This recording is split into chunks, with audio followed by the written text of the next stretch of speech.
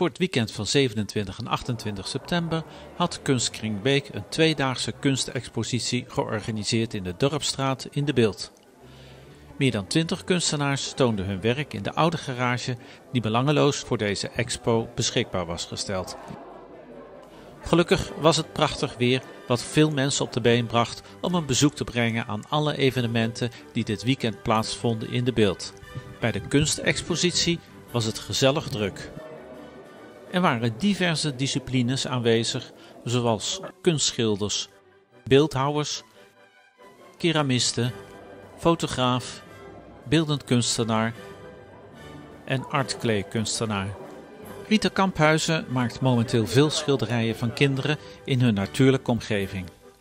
Ze vertelde: kinderen kunnen zo met elkaar gaan spelen zonder dat ze elkaar kennen, zoals op dit schilderij van twee Russische kinderen.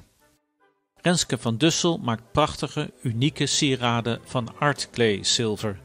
Dit is een Japanse klei waar kleine zilverdeeltjes in zitten. Zij maakt van deze klei sieraden die daarna in een speciale oven gebakken worden. Hierbij verbrandt de klei en blijft het zilver over. Het resultaat is een 99% zilveren sieraad.